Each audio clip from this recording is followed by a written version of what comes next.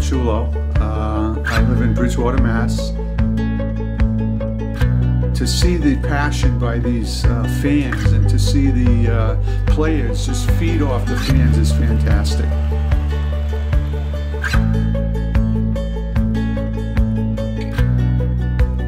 My name is Pamela Gardner, and my position is meteorologist at WBZ. The winters are way, way worse than I would say most of the country. My name is Bo McIntyre. I'm living in Bridgewater now. Been here about 21 years. I grew up in the streets and I, for a while, I wasn't a very good person. I drank a lot, I fought a lot. I never had such a bad drive in my life trying to get home of, of, of that first blizzard. Uh, I'm a true believer that every team in New England is the greatest. Here you got it all.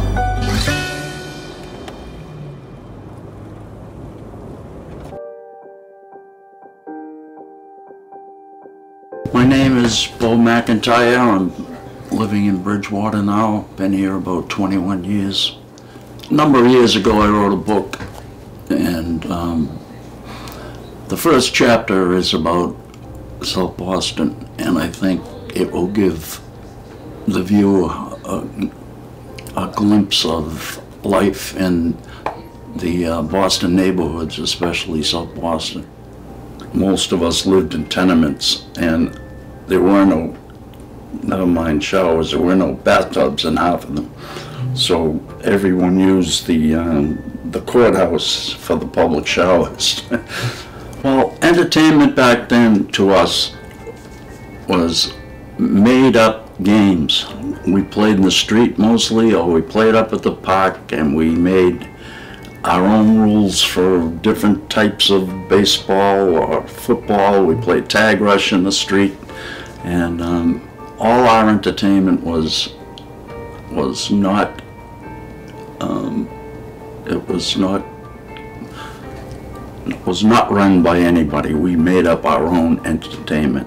There were no malls, and um, when when you needed something big, like a, an Easter outfit for your kid, or uh, you had to buy a television, or um, actually, not many people had televisions back then either. But if you had to buy a living room set or, or anything, you went to downtown Crossing in Boston, which was only a 20 minute ride on a bus. And in there you had the bigger department stores like Sears and Raymond's and um, those type of stores. There was that park I talked about, M Street Park it's called. A friend of mine's father was a fireman and when the cold weather came in January, he would go up and open the fire hydrant and it would flood the football field and then that would become a skating rink. I mean, it just, we, we were so self, uh, we just took care of our own fun. And it was just amazing and nobody bothered us. You know, uh, if you opened a fire hydrant today, you'd get arrested. But back then it was just um, trying to open it up and then in the big snowstorms we'd be up skating on on M Street Park and in the big snowstorms we'd skate down the street to our homes because nobody plowed back then. Cities didn't plow the streets like that they plowed the main ones and that was it. So um, we had a snowstorm that would last for three weeks and because everything was so contained within two blocks. You could get anything you wanted basically. And um, with the parking problem a lot of people just didn't buy cars. Crimes against society were another matter. Most people played the street number every day. For those of you who don't know it's the lottery number now but back then it was a street number that came out 7 o'clock every night. The newspapers would publish it for no other reason that uh, to give people the number. And um, it was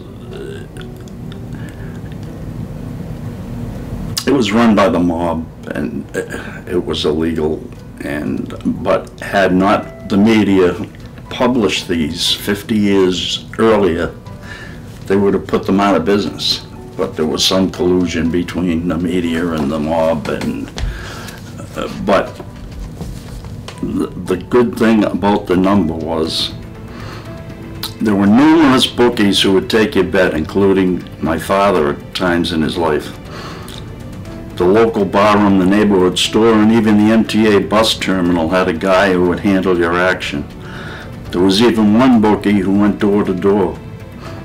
You could wager as little as a nickel, and if you picked three numbers in the correct order, you would get back $30. A dollar bet would get you $600 which was as much as two months' wages back then.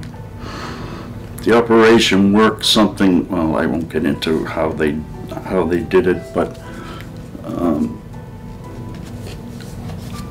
that number, and even now, I, I suppose, with the, uh, with the state lottery number, that number gives people a, a lot of hope. You know, uh, you, you hear the politicians saying, "Oh, it's taking money away from the uh, the poor people and everything," but to some people, that's their only hope of catching up a bill of uh, getting clothes. It's just uh, I understand both sides, but I believed in it, and, and I think it gave people something to look forward to. You don't have hope, you don't have anything. Yeah, I um, I grew up in the streets, and I, for a while, I wasn't a very good person. I drank a lot, and I fought a lot. And, um, then I got married and had a child, and once that responsibility hit me, I knew I had to get a a job and support these people. Like I've seen friends of mine try to stay on the corner, hang on the corner and be married. It never works. They always end up getting divorced. So I went to the Gillette Company, which is a big um, employer of South Boston people. And I applied for a janitor's job. I got that, and Gillette had a, uh, they used to post jobs on the bulletin board. You know, this job is open, you can, and just like you were coming from the outside, you put a resume in and, and, and get interviewed and, and, and see it. So within six years, I worked myself up from a janitor to managing the accounting department. I did it the hard way. I never had schooling, so I, I had to go to school nights. I went to 10 years nights to, to uh, Northeastern and studied all weekend, which took a lot away from my family, but it was the only way I knew to, to you know, take care of them financially. Put a roof over their head, and we were able to buy a house, and and it got it got us out of the city, and um, I love Gillette. Gillette was, my whole life. I mean, I, I worked there about 20 years, I think, and then I I burnt out and I went to another company, and it didn't last long, but but it, it had so many things that um, they offered. They had a, a they had a softball diamond that was that looked like Fenway Park. It was so beautiful. They kept it, um, and and right in the parking lot. You know, parking is at a premium. They kept that for years and years. They have a cafeteria where it was 35 cents for a three uh, three course meal. 35 cents.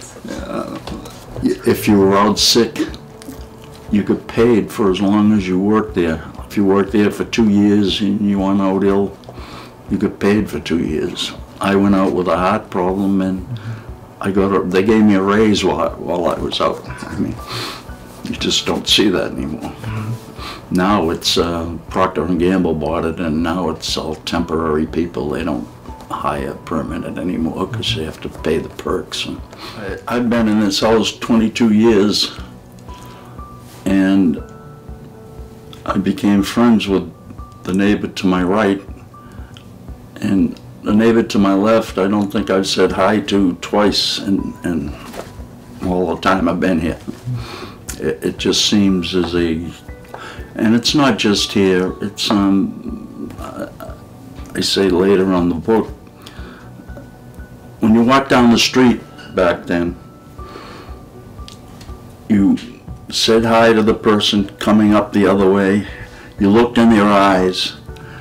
Now if you do that, people are either scared or think you're crazy, or if you smile at them, they think something's wrong, uh, something's going on, you're, you're, you're, after something. And back then it wasn't. And uh, there was just so much uh, politeness. And uh, if you went into any building, as soon as you stepped into a hallway of a tenement building, you took your hat off, an elevator, anywhere never wore a hat inside. Now I go to church and uh, the kids are wearing baseball caps all through the thing and uh, the worship service, everybody else, you know, and it's just, not, I'm not saying it's wrong, but it's certainly different.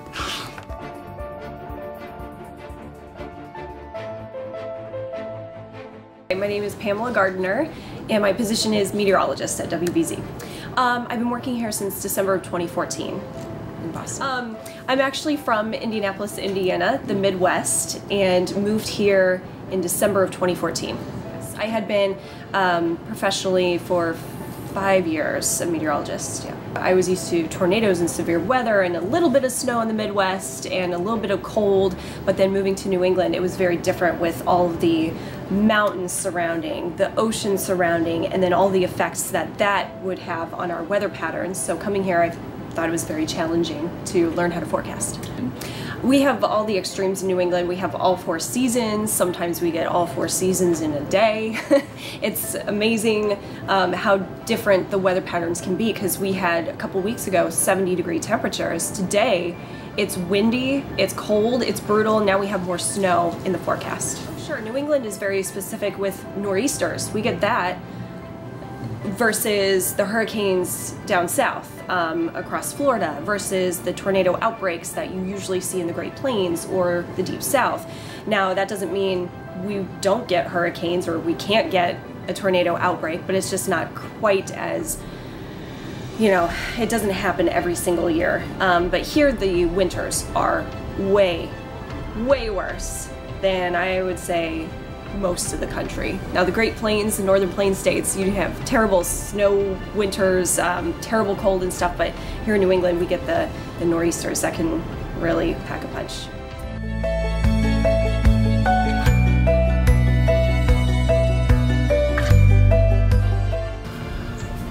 Yeah, the blizzard of 78 was just unbelievable. And uh, people don't remember, but think that was on a Friday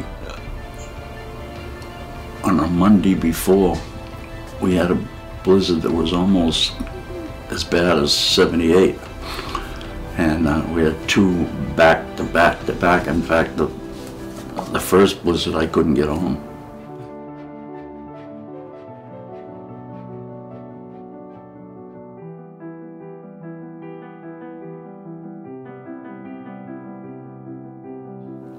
There were cars just stalled on the expressway and you couldn't see, you was white out and you're trying to get around them. And, and my, I remember my alternator was gone and if I stalled, I would have been there for a week. But the blizzard of 78 was just unbelievable. But what came out of that, I, at that time I lived in Hanson. I've never seen people come together like they did during that blizzard. Everybody was out helping shovel. We would take a sled and walk down to the supermarket to get food and uh, every night was a party. I mean, it was... Especially for someone who's passionate about weather, I love the challenge of the forecast with the different seasons, just trying to get it right, especially this time of the year. We're trained to think it's spring, it should be warm, it should be in the 50s, maybe the 60s, but then here in New England specifically, we'll be stubbornly colder than the rest of the country. And that to me, I think it's fascinating. And if you grow up here in New England, that's um, something nice that you would have as opposed to someone who grows up in the South where maybe you've never seen snow before. I think it makes you tougher. Well, we love living here. Um, we're beach people, my husband and I, and we actually bought a house on the beach because we love the space and just the different atmosphere it gives. It's a very unique part of the country where you have a melting pot of cultures too, coming in from Boston Logan. Um, we lived in Chelsea first and loved it there with the different um, food options, restaurant options, even the market basket there was different versus where we live now. I mean, seriously, and you don't necessarily get that much exposure to culture in the Midwest. Um, you do some, but it's it's a whole nother ball game here.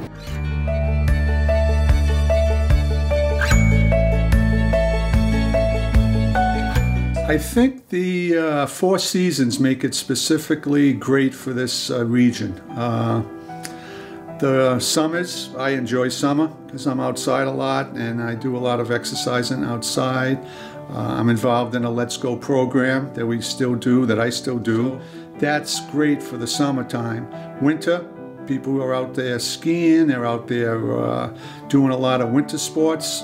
Spring, the kids are out there doing Little League Baseball. In fact, uh, my last year, they asked me if I could throw out the opening pitch to Little League Baseball, and I said great. And I had one of my former uh, students in the background, uh, Eric Hackinson, yelling out to me, way to go, Bobby! So uh, it was great to see people who I taught back in the uh, uh, elementary grade to come back, and now here they are with their own kids doing it. So, and the fall is just fantastic. I I'm a, I took up golf, so I'm golfing now during the uh, fall season, and it's great getting out there without the crowds during the week and hitting a golf ball and seeing the leaves change, and it's just a great time.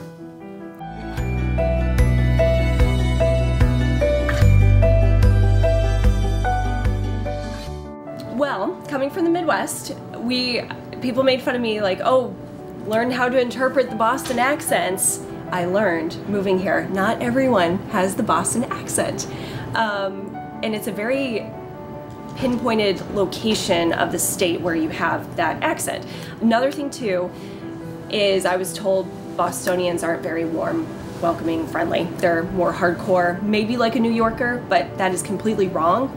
Um, with what we've noticed moving here, everyone's very friendly, very nice, normal. It's not some oh, different crazy part of the world. but um, the culture is different. You have more seafood, fishing culture. That's a big deal here, which I was never exposed to. Um, yeah, it's fun. Advice for anyone too: definitely move somewhere and learn a whole new part of the country.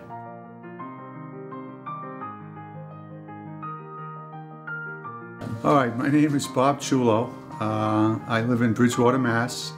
I taught in West Bridgewater for 35 years, and I've been retired now for five years. I grew up in Fall River, Mass, and that's kind of where I got my sports uh, influence from. Uh, it was a great sports town. The name of the school was called Durfee, and they had an awesome basketball program. Uh, I'm a true believer that every team in New England is the greatest that's on the face of the earth. Uh, I particularly like the Boston Celtics, uh, the Boston uh, Bruins, the uh, Boston Red Sox, and uh, New England Patriots. I went to the Boston Red Sox first with my family back in 1964-65, and I fell in love with the 1967 Boston Red Sox, which is known as the Impossible Dream Team.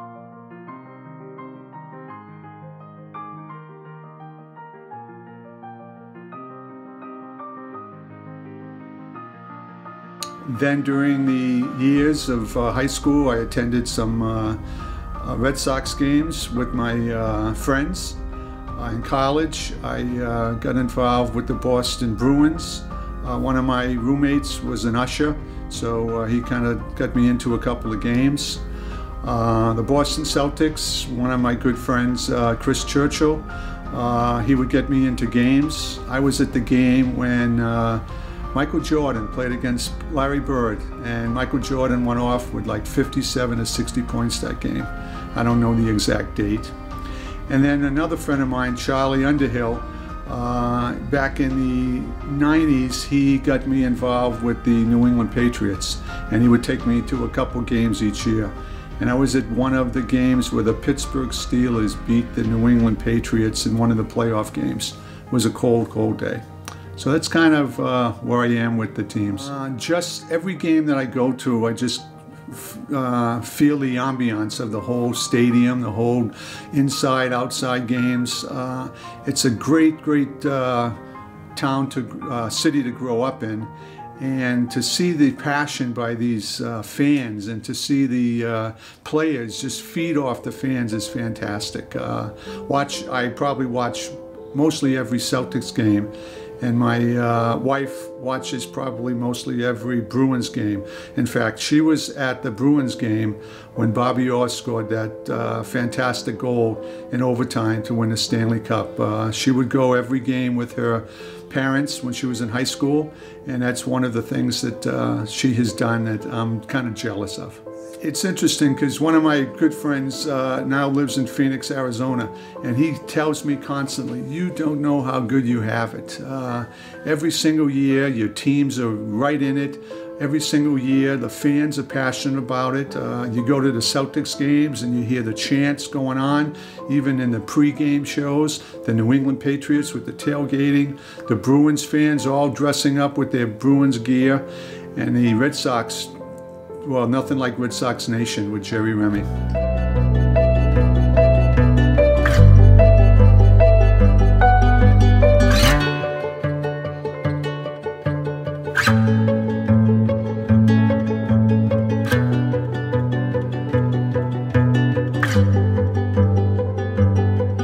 Being a big sports town. We have all the big sports. I mean, hockey, baseball. That I didn't have in Indiana. We had football and basketball and stuff, but um, here you got it all. Yeah. And the teams are good, admittedly good. I think the teams have changed over the years because uh, uh, the teams obviously are, are very good each year. So if you're good each year, you're going to have the uh, internet showing a lot of the games. You're going to have cable television, which is unbelievable. You can get every game now. You're going to have the uh, newspaper coverage of the teams.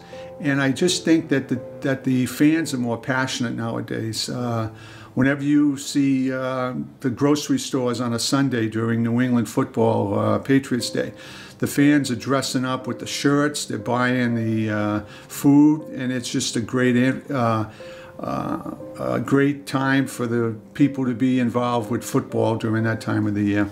Well, I have to say that uh, Larry Bird is my all-time favorite player. Uh, one of the things I'd like to accomplish on one of my bucket lists is to someday meet Larry Bird. Uh, even just a handshake or just a picture with him, uh, that would be awesome. Uh, my next favorite player is the uh, gentleman, Bobby Orr, who just had a birthday yesterday, in fact. He turned 69. Uh, for the Bruins, Patrice Bergeron has to be one of my favorite players. Uh, and for the Red Sox, probably uh, you're going to, a lot of people are going to be, you know, saying, why him? But Nomar Garciaparra. Uh, I just like the way that he played back in the day, and now he's uh, a commentator and he's doing a good job.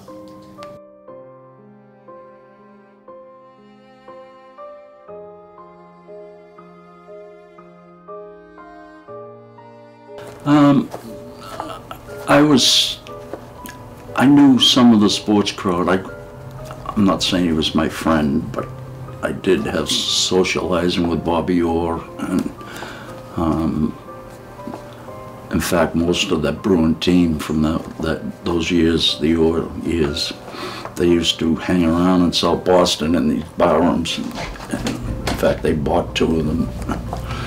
And um, a guy named Jerry Moses, who played for the Red Sox, I, I became really friends with. I'll tell you, my uh, friend uh, Charlie Underhill, who uh, got me into a few games a couple years ago. Now the tickets are very hard to come by. He has gone to, I think, every game uh, since the uh, dawn of his tickets, which is over 40 or 50 years ago. And I think he's only missed one game in all those years. So he goes, and with him, he has a rule too. He makes sure to get to the game, and he's there for the opening kickoff, and he stays right up until the end of the game. He doesn't leave for snow, sleet, rain, blowouts, or anything. So uh, the the uh, clientele who go to these games are just passionate about uh, their teams, and uh, they follow them for uh, through th- thick or thin. Uh, I just uh, make time. I uh, just enjoy the seeing the championship teams develop. My wife's a big sports fan, so that's one of the reasons why uh, I can uh, spend a lot of time watching sports because, in fact, I must admit, she probably is more of a baseball fan than I am. I will go to bed and I'll go to sleep, and she'll stay up and watch the games almost to the end. And uh, football, the same as with her. And now my kids have gotten into uh, fantasy football, and they want me to join. And I'm not into it yet, but I think eventually they'll kind of pull me into fantasy football. Uh, in the last uh, 10 years, we have had a domination of uh, championship teams from the Patriots to the Bruins. In fact, my wife and I went into the Bruins parade when they won the Stanley Cup in Boston, and that was an awesome time. Just standing there and seeing thousands of people and screaming and yelling for these athletes on the duck boats. And so that's what makes it nice for me that uh, hopefully. Uh, if the Bruins or the Celtics can get into uh, a championship team, hopefully my wife and I and maybe our kids will go in to see another parade.